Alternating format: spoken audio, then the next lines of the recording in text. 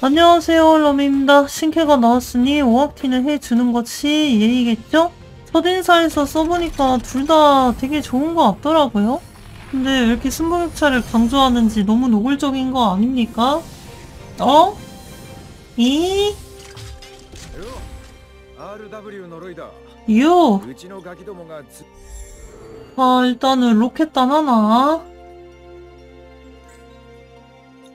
어 어, 아니, 이게, 뭐야, 이게.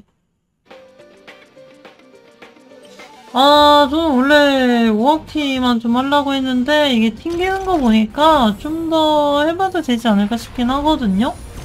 주황색을 하나 한번 노려보도록 하고요. 뭐야, 이게. 아니 우성이 이렇게 잘 나온다고?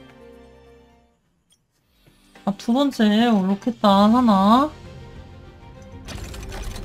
아 뭐야 주황색이네요 아, 근데 아, 저번에 아메모리 때 천장이었거든요 아, 노란색은 없고 아 레디젤이면 이거 저건데 블루스카이 이 친구 루비 세우면 되는 거죠?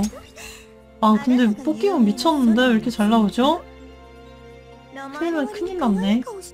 아니 이게 30에 이렇게 못 얻으면 이거는 멍멍이 자식인데? 이거는 완전 양아치 뜨레기죠? 오늘은 이제 밖에 나가면 뒤통수를 조심해야 될 것 같습니다. 선장을 받은 상태라 당연히 픽돌이 나올 줄 알았는데 우린 도망가도록 하겠습니다. 죄송합니다.